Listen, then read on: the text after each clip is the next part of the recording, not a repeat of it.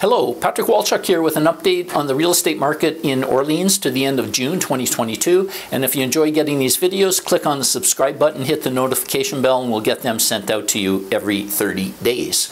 So what we're doing is comparing June of this year to June of 2021. And starting with the overall sales, what went on in Orleans is that there were 156 homes sold, and that's a decline of about 35% over June of last last year. Now, the overall average price is about $662,000, so prices are up over 9% compared to June of last year. The average residential price, that's anything other than a condominium, prices are about 710,000 closing in on 711 actually, and that's an increase of 7.1%. Orleans condominiums their average price is almost $460,000 for a pretty significant increase over last year of almost 11%.